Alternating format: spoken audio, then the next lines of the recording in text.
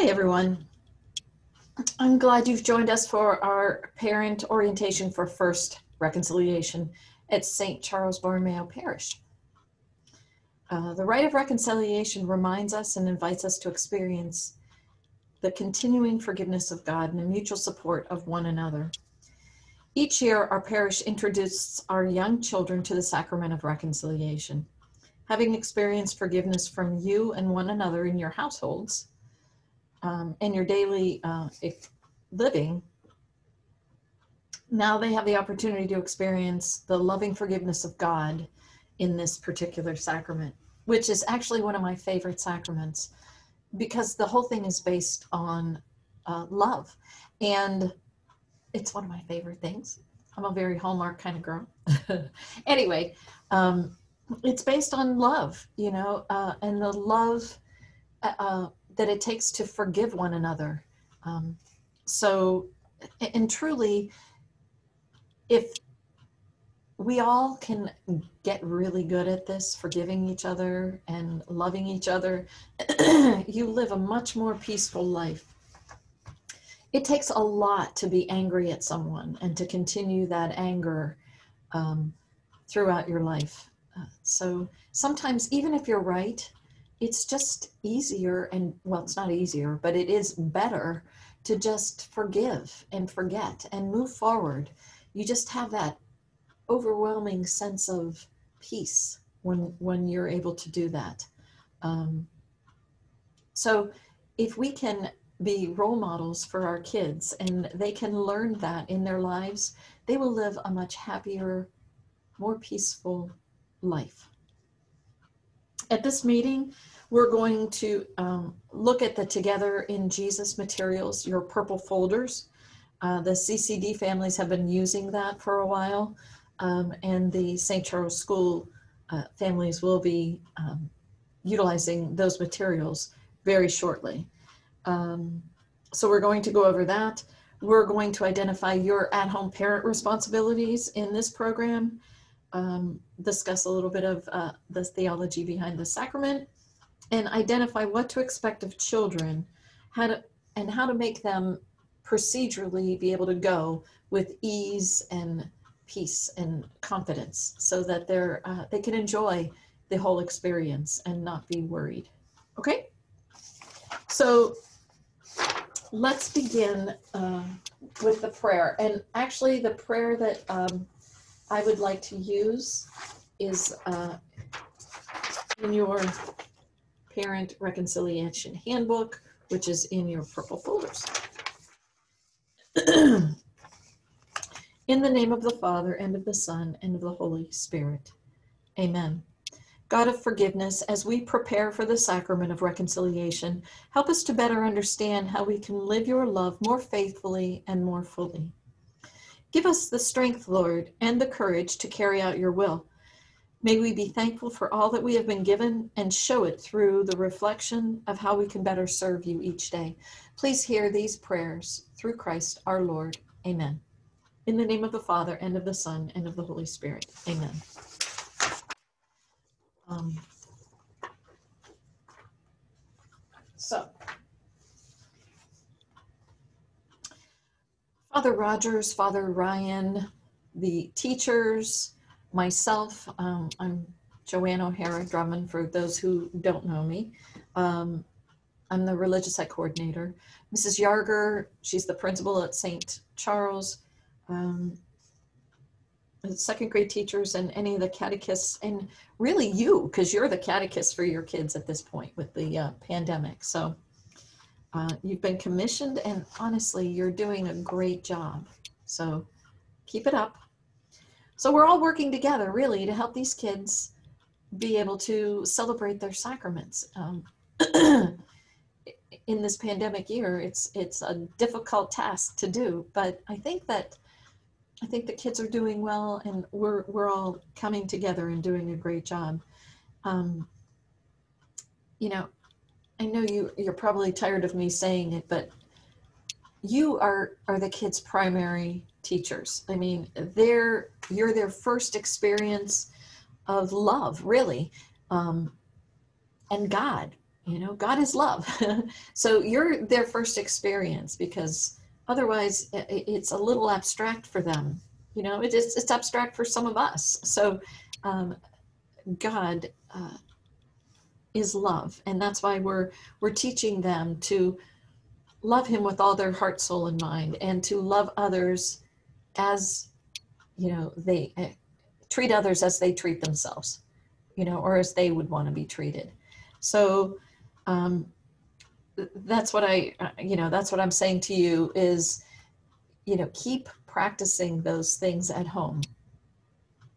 You know, beyond these materials and things that you're doing, just show them, you know, show them you love them, that you love each other, that you forgive each other.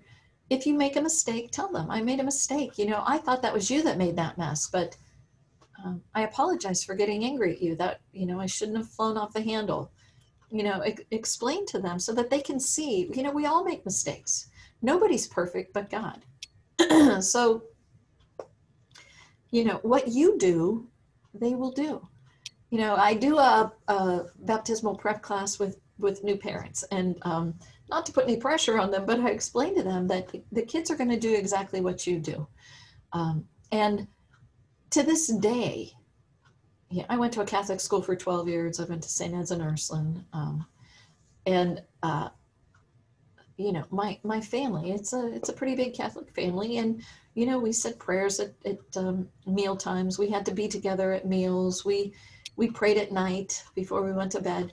And honestly, my dad, there are five of us, um, which was a really small family in, in my day. I'm getting up there. So, uh, but I mean, I had classmates who had, you know, there were 12 kids, nine kids, seven kids. You know, we were kind of a, an average uh, family at that at that time as far as a amount of kids went. Um, but my dad would come in every night, and uh, he'd put a little cross on our foreheads, and he would say, "Angels watch over you," you know, throughout the night. And he'd say, "Angels watch over you, honey." Um, and when my dad um, was 80. He had a stroke and he um, ended up in a wheelchair. And I, uh, my husband and I took care of my dad. And um, his one side was paralyzed. So every night when I would go in, um, I would put a little cross on his forehead and I'd say, Angels, watch over you, Dad. And he would take his good hand and he'd make me lean down and he'd still put that cross on me and he'd say, Angels, watch over you too, honey.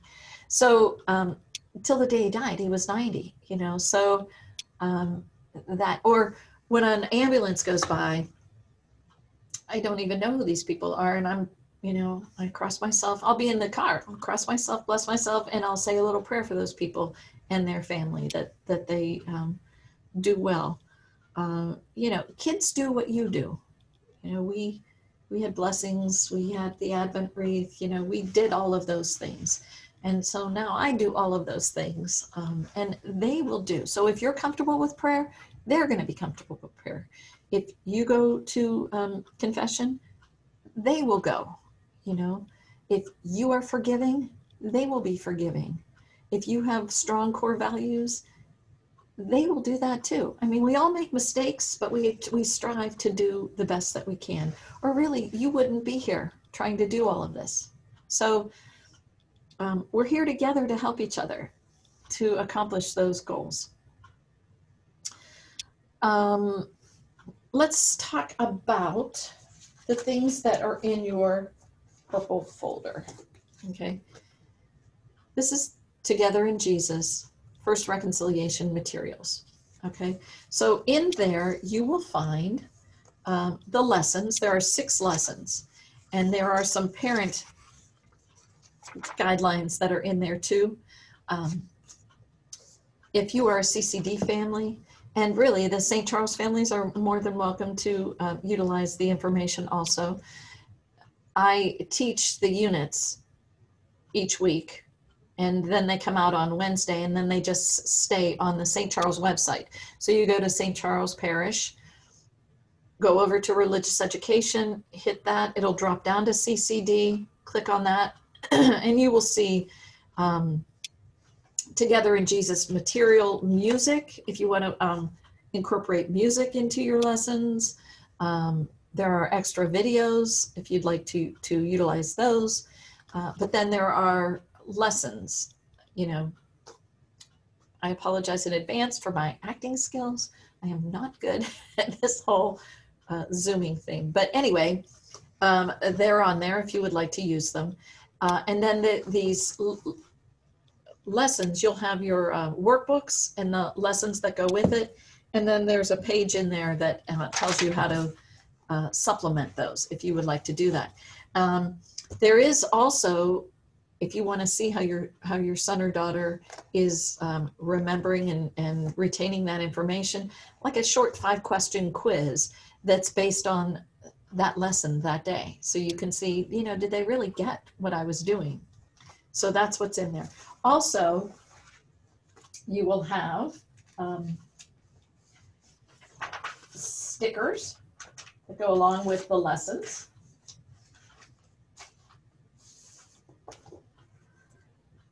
And they will peel these off and, and uh, place them throughout their, their lessons. And there's another, it's a poster that you want to put like on your refrigerator or someplace central where everybody goes. And um, there are activities that you do throughout the week that reinforce what you taught that week. So, for example, the first lesson is based on I belong to a loving community. So, you teach the lesson. If you want to utilize those other materials, you know where to find them. If not, you can always call me. I'm at the Religious Education Office, 330-758-8063. Um, and then you go back, like this first one, the activity that reinforces I belong to a loving community. Love in a home is not measured by the elaborateness of the gifts or the once a year birthday celebrations or the things that you have. It's clearly shown by the way parents, children, and, and siblings interact with, with each other every day. So that's your community. That's your, you know, your close knit family. Sometimes children need a little help in deciding what words or actions make a home filled with love. So you ask the following questions Is our home love filled when we share things or when we're selfish? When we tell someone not to play with us or to join with us? When we yell at another person or when we use kind words? Then ask your children to check the appropriate heart on the poster whenever he or she performs a loving deed throughout the week. So the first says I shared, and then there's enough, you know, for seven hearts, you can fill one in for each time that they did that that day. Uh, the next thing, I used kind words with others in my family, or I offered to help someone, or I did chores without complaining about them. So there are some things that they can be thinking about. And then sometimes they might do it and didn't even think that they, you know, they didn't even think about it, which that's the goal for sure, right? But um, if they do something and you notice that they didn't fill it in, you could say, you know, Johnny, I saw you do that with your sister. You gave her that um, toy because she's just little and she was crying because she wanted it, even though it was yours. That was a hard thing to do. And you did a great job with that. So you need to, don't forget to fill that in on your poster. You know, so that this you utilize and it, there's an activity each week for you to do to, that reinforces what you've taught that week. Another material is, this is really kind of neat. There are frequently asked questions and the answers that follow. So that when the kids ask you those questions, you have something at, the, at your fingertips that you can talk about and answering if you don't already have that answer. It's just a, a quick go-to for you to um, answer any of those questions. Okay? Alrighty. I did throw in, um, in addition, I threw in, there's a role-playing activity that you can use. This will be really a good idea for you to do. Um, and I would do it many times so that they can practice. In this role-playing activity, um, you are the uh, priest and they are the confessor. And the directions are in this letter. But basically, it asks you to get a box or, or a bag and put on their reconciliation box or reconciliation bag. And then I just typed up some a few um, second grade sins, venial sins. But anyway, second grade sins really. What do they do that's all that bad? But anyway, we have a few second grade sins. You cut them out, you put them into the bag. Okay. Then you sit across from your son or daughter and you say to them, well, you talk to them about um, examining their conscience and you know you're going to be doing this um, as you work through your program uh, the six lessons because the six lessons talk about um, belonging to a community and it goes over the ten commandments and it talks about how the first three are about god and how you love him with all your heart soul and mind and the next seven commandments talk about how we treat others because the greatest commandment is how we love god and then you know treat others as we want to be treated. And that's how this last seven commandments are, you know, so it talks about all of those things. So then you, you know, go over reviewing their conscience before they go into confession. And um, you want to be able to let them know, okay, well, those are God's commandments. So, you know, you're going to ask yourself questions. You know, do I obey my parents? Did I disrespect the name of God? Did I use it when I was angry or something of that nature? Have I complained about going to Mass?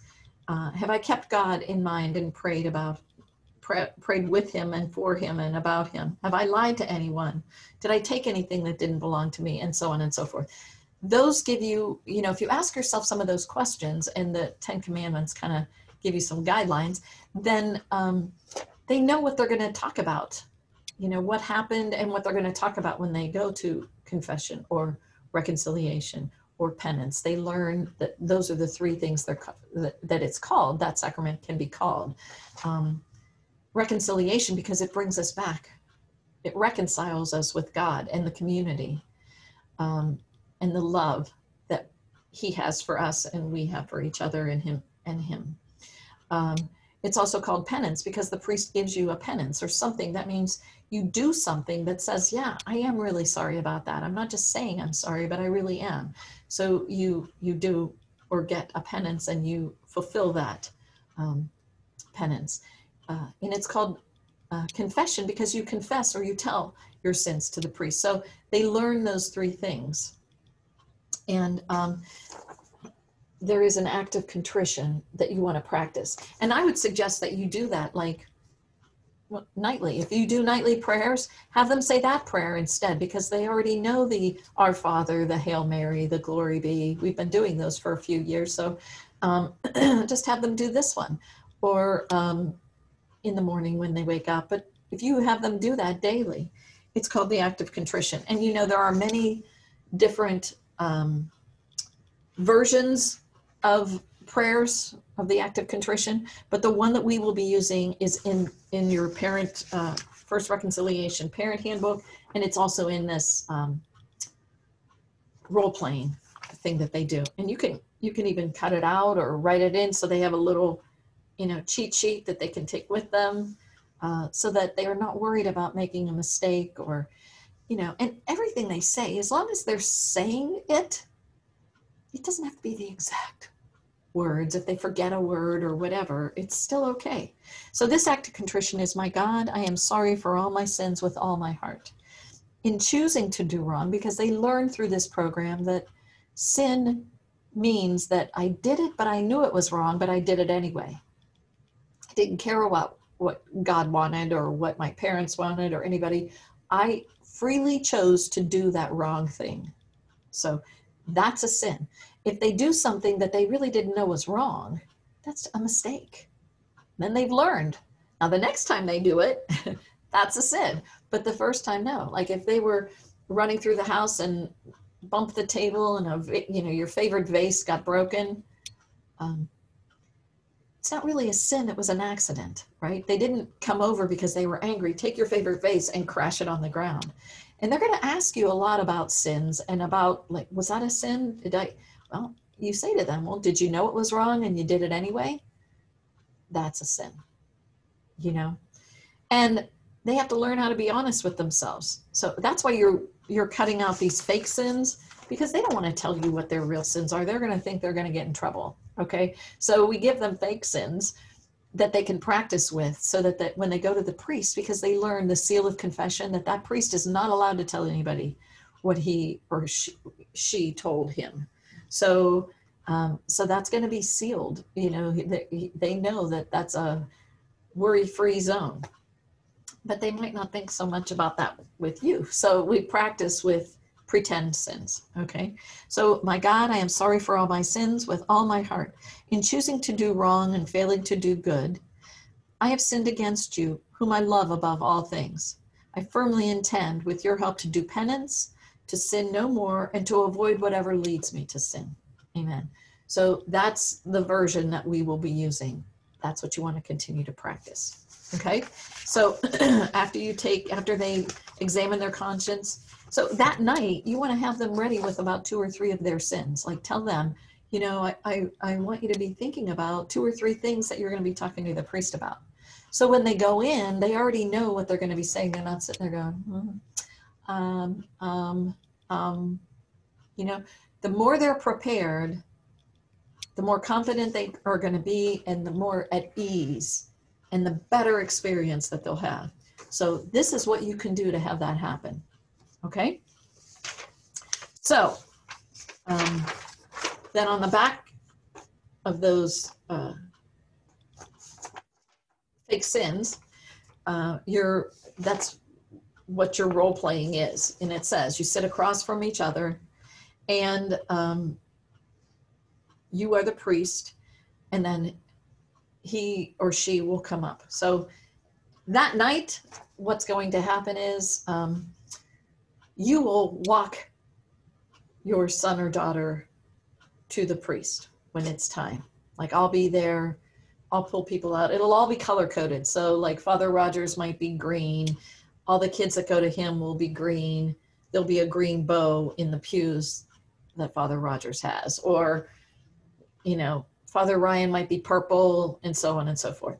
So that's how that will happen. So you'll know where to sit and where you're going. And then when it's your turn, um, the usher, which would probably be me or somebody, you know, like me, Mrs. Yarger, um, will notify you. And then you'll walk up. You're going to keep your six feet distance, socially distance, and you'll say, Father, this is Johnny Drummond, or whoever it is. Okay. I just used his name because that's what came to me. And um, your son or daughter, you introduce them, then you step back with the usher or myself or whoever you're with to give your child privacy. Then they will walk up, they'll sit down, and um, Father will say hello, and they will look him in the eyes and they will say, Bless me, Father, for I have sinned. This is my first confession. So you want to keep practicing that. Bless me, Father, for I have sinned. This is my first confession. Now, obviously, after the first confession, what they'll say is, Bless me, Father, for I have sinned. It has been two weeks since my last confession, or two months, or two years, or I can't remember how long it's been since my last confession. But it's not their first. Okay, so you use some other time frame. If you know it, if you don't, you just say, I don't remember how long it's been. Um, and then they proceed to tell the priest their sins, you know, whatever it is that they you know, I lied to my parents. Um, I got angry with my brother and sister and, you know, I hit them. Uh, I, I, I, didn't have a pencil and I stole my my classmate's pencil or whatever it is. That won't happen this year because they're not in class at, at least at CCD. It might be at, at school. But anyway, that's what they'll do. And then father will talk to them. Well, why do you think um, you lost your temper that much to hit your sister, you know, and then he might give them, you know, maybe next time you want to say a little Hail Mary or an Our Father in the, in the interim so that you don't, um, you have some time to cool down before you approach your brother or sister when you're that angry. Uh, he might tell them, you know, he'll talk to them a little bit. And then he'll say, when you go back to your, you know, seat, I want to, I want you to say three Hail Marys or whatever it is he did. So when they're all done confessing their sins, and here's the other thing tell your son or daughter, when you're done, look at the priest and say, um, you know, these, I, I am sorry for these sins and, and all my sins, or I'm sorry for these and all the sins I can't remember, you know, or, uh, you know, I'm really sorry and, and I'm finished, Father. You know, give him some kind of idea that you're all done because he's not going to move them along if he thinks they're just sitting there. He wants them to be comfortable. So he will just say, he'll just wait for them. And if they're just sitting there, not saying anything, you know, so they have to say when they're done, they have to say, you know, I'm sorry for these and all the sins I can't remember, or I'm sorry for these sins and uh, I'm finished, Father. But he, they have to say they're sorry and pretty much that they're done. And then when that happens, he will put their hand over his hand over their head. And he will say, I absolve you from all these sins in the name of the Father. And so they have to bless themselves. bless themselves while he's saying, So I absolve you from your sins in the name of the Father and of the Son and of the Holy Spirit. Amen. And then he'll say to them, you know, go back to your pew or to your, with your parents and say three Hail Marys. And then remember to say a little Our Father before you, you know, get that angry again. Just gives you time to cool down or whatever it is he tells them to do. Now, the directions say to shake their hand and say, I'm sorry. I mean, I, I mean to say uh, thank you, but you're obviously not going to do that due to COVID. But you will explain to them in normal circumstances, you know, when they're face to face like that, he could, he might shake their hand or just wave, thank you, Father. And that's what they'll do. Thank you, Father. And, um, you know, say goodbye. Then you'll go back with your parents. You'll return to your seat. You'll kneel down and and say your do the penance that that you are asked. The penance means you know that you're you're doing an action that says you're really sorry. You're not just saying I'm sorry.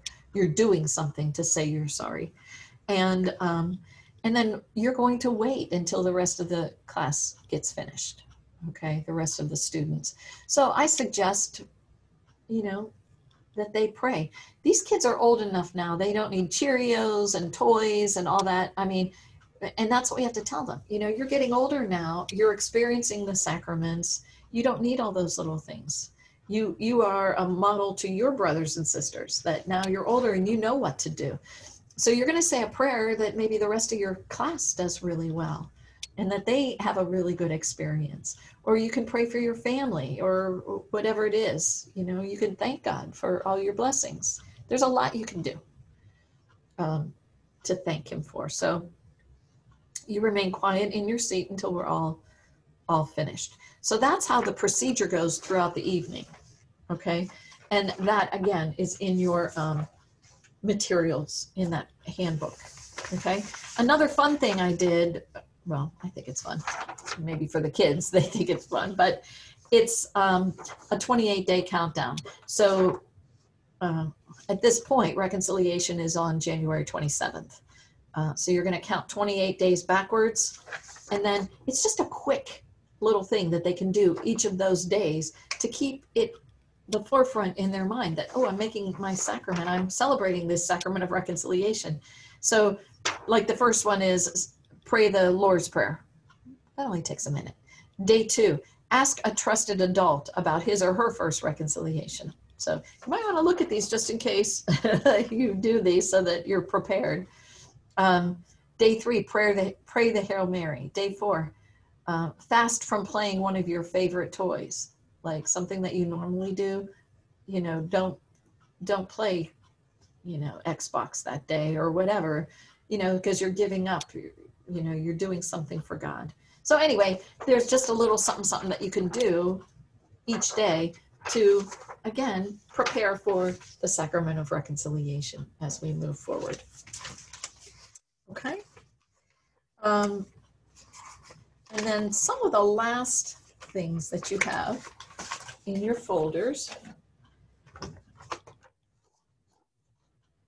is this is the last thing that you might have in your folder and it's your parent handbook. And um, as you go through your parent handbook, um, it talks about what happens at reconciliation, a lot of the things that I just covered, you know, how the ceremony will be, um, procedurally uh, happening, uh, important future dates, you know, which obviously are all subject to change, and um, making your first sacrament of reconciliation, all of the things that we just talked about. So anything that you might need, plus you have my phone number.